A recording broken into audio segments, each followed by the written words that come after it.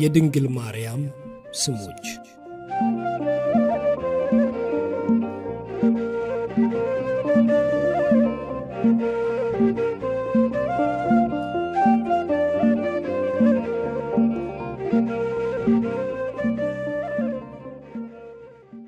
ስም ለፈጣሪም ሆነ ለፍጡራን ለመጠሪያነት ያገለግላል። ይህም ስም አንዱን ከሌላው ለይቶ የሚያሳውቅ የፍቅር መገለጫ ነው። በጽሑፍም ሆነ በቃል ማስተላለፍ የሚቻለው በስም አማካኝነት ነው። በብሉይ ኪዳንም ሆነ በአዲስ ኪዳን እግዚአብሔር ለሚወዳቸውና ለመረጣቸው ሰዎች ስም ያወጣ እንደነበር ሁሉ ሰዎችም እያወጡ መጠሪያ ይሰጡ ነበረ። ይህም ስም የሚሰየመው ወይም መጠሪያ ሆኖ የሚሰጠው እንዲሁ በዘፈቀደ ሳይሆን መሠረታዊ ምስጢርና ትርጉም አለው።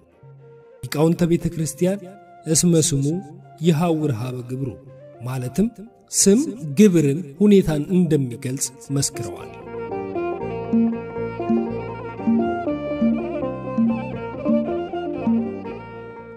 የኢትዮጵያ ኦርቶዶክስ ተዋሕዶ ልጆች ምስክርነት ከስም አጠራሯ በመጀመር ለድንግል ማርያም ዘርፍ ወይም ቅጽል አሊያም ምትክ አድርገን የምንጠቀምባቸው ምስጢራዊና ትርጉም ያላቸው ንጽሕናዋን፣ ቅድስናዋን፣ ድንግልናዋን ወዘተ የሚመሰክሩ በርካታ ስሞች አሏት። ስለ እመቤታችን ስሞች ሊቃውንተ ቤተ ክርስቲያን ካላቸው ፍቅር የተነሳ አብዝተው አመልተው አስፍተው አመስጥረው ከተረጎሙት ጥቂቱን እንደሚከተለው እናቀርባለን።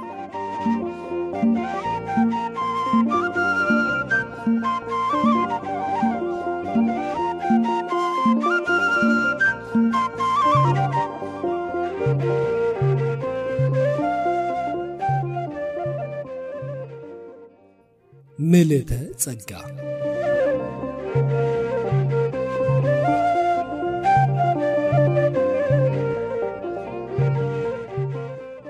መጽሐፍ ቅዱስን ስናነብ ይህንን ቃል ከእመቤታችን በቀር ለማንም እንዳልተነገረ እንረዳለን። አዳም ከፍጥረት ሁሉ አልቆ አግንኖ በአርያውና በአምሳሉ የፈጠረው ፍጥረት ነበረ። ነገር ግን በኀጢአት ምክንያት የተሰጠው ጸጋ ተገፈፈ። አብርሃምም ወዳጁ ነበረ፣ ዳዊትም እንደ ልቤ ያለው ነው። ሙሴንም ከአምስት መቶ ሰባ ጊዜ በላይ ቃል በቃል አናግሮታል። በዘመነ ሐዲስም ሊቀ ሐዋርያት ቅዱስ ጴጥሮስን አንተ ብፁዕ ነህ ብሎ መስክሮለታል። ይሁን እንጂ እንዲህ ባለ ቃል እንደ እመቤታችን ጸጋ የሞላብህ ጸጋ የሞላብሽ የተባሉ ሌሎች አልተገኙም። እመቤታችን ከፍጥረት ሁሉ ተመርጣ ከእናቷ ማኅፀን ጀምሮ እግዚአብሔር የጠበቃት ያደረባት ወይም የከተመባት ረቂቅ ከተማ መሆኗን መልአኩ በመሰከረበት ቃል ምልዕተ ጸጋ እያልን እንጠራታለን። ሉቃስ ምዕራፍ 1 ከቁጥር 26 እመቤታችን የተለየች ናትና ጸጋ የሞላብሽ የጸጋ ግምጃ ቤት ተብላለች።